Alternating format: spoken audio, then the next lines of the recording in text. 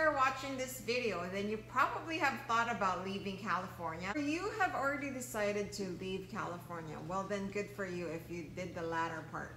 Well, welcome. My name is KG, and like you, we have moved out of California to Kansas. But before I begin, please don't forget to hit that like button and please subscribe to my channel. I hope this video helps you decide whether you should move out of Cali. If you need more help figuring out whether it is for you to move out of Cali, then check out my videos on my channel. Firstly, I just want to talk about what was our primary motivation to move out of California. For us, my husband's family lives here in Kansas, so we moved here to be closer to them, and so my son could be closer to his cousins and grow up with them. Secondary reasons why we moved out of Cali is because of course we wanted a better quality of life, we wanted a slower pace, we wanted a good work to life balance. So the first thing you really need to ask yourself is what is your motivation to leave California? How are you gonna move your stuff from Cali out of state? Of course, you can hire movers, professional movers, and you know that comes with a cost. We decided to go with the pods because we knew we were going to save with using pods moving cross country. And I'll let you know how much we ended up paying pods in a little bit. Aside from the fact that pods was cheaper for us to go with, we knew we were going to move twice and we didn't want to move our stuff twice. And if you are planning to do the same thing, the smartest thing to do would be to put your stuff in pods. So what we did was we put six months of our stuff that we were gonna use in the apartment towards the end of the pod. So right when you open your pods, your stuff is right there.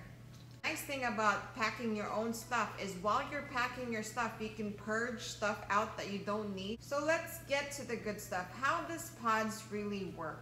You can communicate with them and let them know when you want your pods container dropped off in front of your garage. Um, they're pretty good at asking you where you want it, which side, so you can access it better. Of course, you can communicate which date you want it dropped off so you can clear out your driveway. You can make sure that nobody's parking in front of your house. So basically, once you've loaded your pods up, you can ask them to pick it up and they'll store it for you until the day they transport your container to where you're going.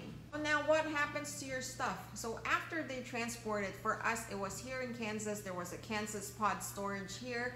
Then it stays there until you would like to access your pod. So you actually get one free access to your storage monthly.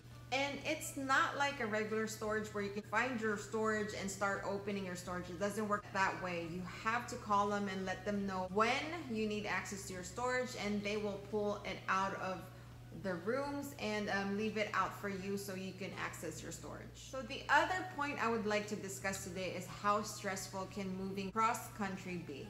If you're moving to a new state, you're probably trying to sell your house in California and if you're moving to another state, you'll have to have your jobs lined up, where you want to live, where your kids can go to school if the schools are good. I mean, all these things you have to deal with on top of trying to change your mailing address 50,000 times. Of course, on top of this, you have to worry about the costs of moving and the long drive to where you're headed to.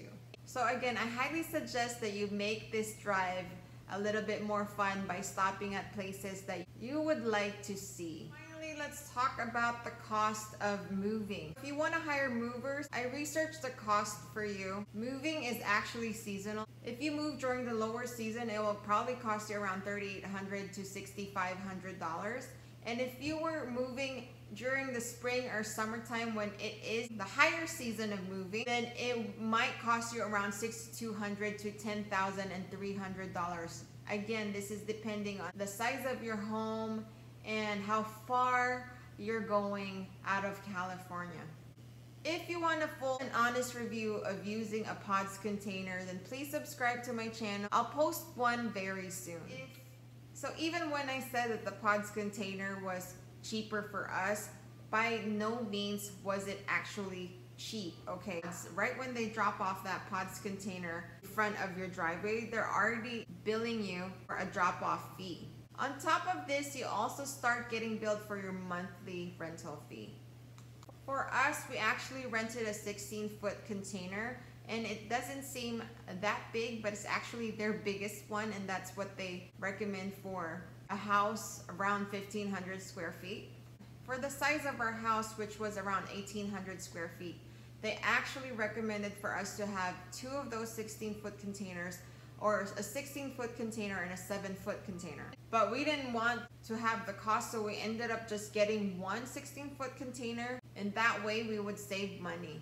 Let's get down to numbers. The empty container drop off, it was actually around $166. And this was the drop off in California. When they dropped off the container here, it was $140. I don't know why there's a little difference. Maybe it depends on the state where you live in. Rental for our container, which was a 16 foot container, was actually around $240. We had a promo giving us a discount of $50 per month which um, after taxes we ended up paying 205 a month. There were also a few added fees that was on our invoice. Also, there was a transit protection fee and that was another $50. The moment they drop off your container in front of your house, you're probably gonna end up paying around $500. So if I were you, I would make sure that all your stuff are pretty much boxed and ready to go. So once they drop off your pod in front of your driveway, then you can just start loading your stuff, hence saving you money by saving you time.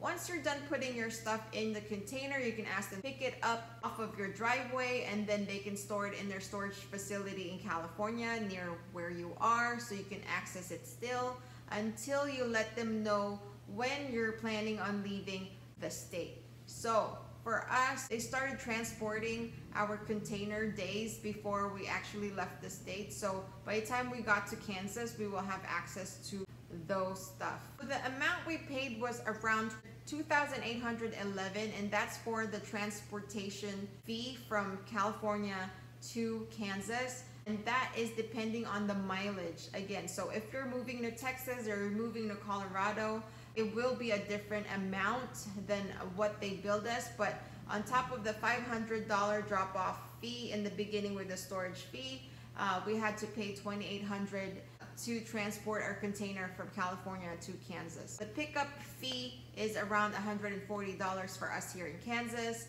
If you don't want your stuff yet, you will have to have them store your container in one of their warehouses near you.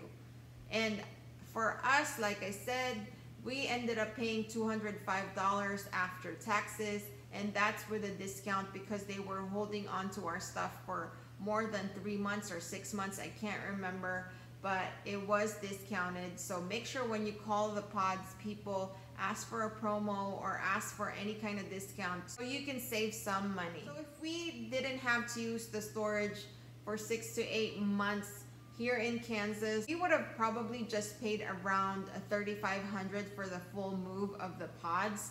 Even with the storage fee monthly, I think we still save a little bit more money. So there you go, folks. That's how much we spent. I hope that you will save even more money than us. Again, I will do a final review of the pod soon here. Be blessed. I hope your move will be just as fun as ours and be stress-free. Thank you. Bye-bye, guys.